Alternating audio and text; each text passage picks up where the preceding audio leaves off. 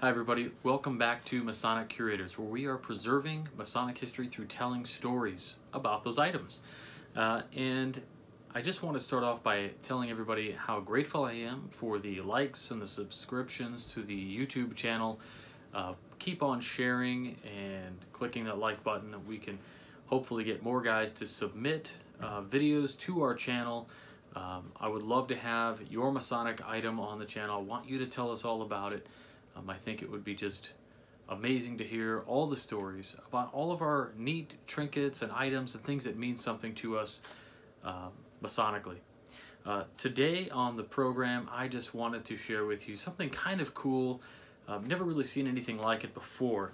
Uh, now, in past episodes, I've shown you my first challenge coin, uh, coin which I ever received.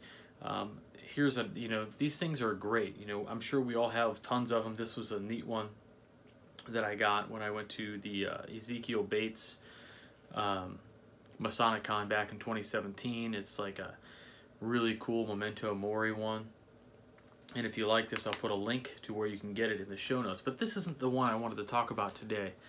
The one I wanted to talk about today was uh, due to a really interesting item. Um, it's a wooden coin.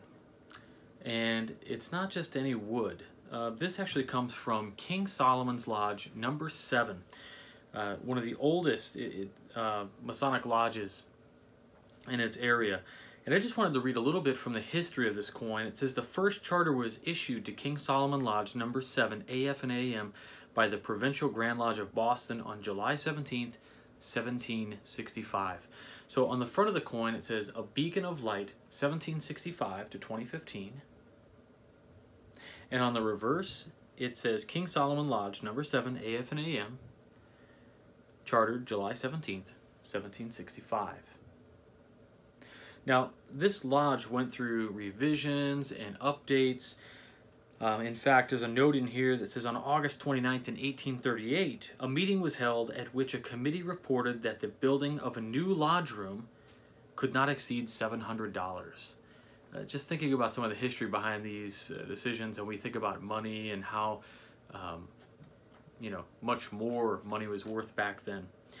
Um, and it's just really kind of interesting. This history that I received is uh, a very decent uh, history. It's just a few paragraphs, and I don't want to read all of it here, uh, but just it's suffice to say that the history is great.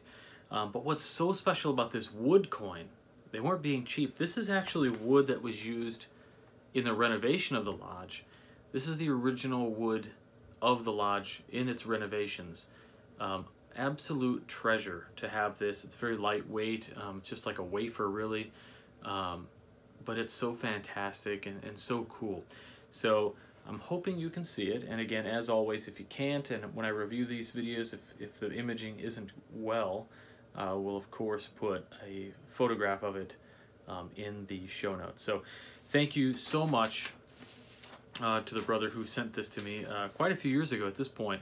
Um, but it's so great. So uh, King Solomon's Lodge number seven.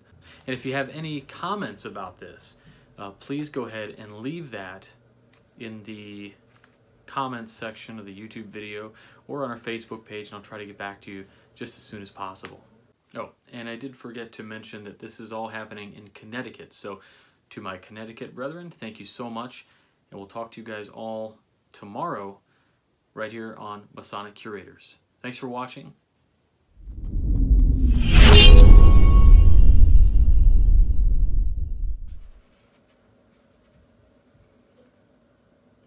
Did you subscribe yet? Do it.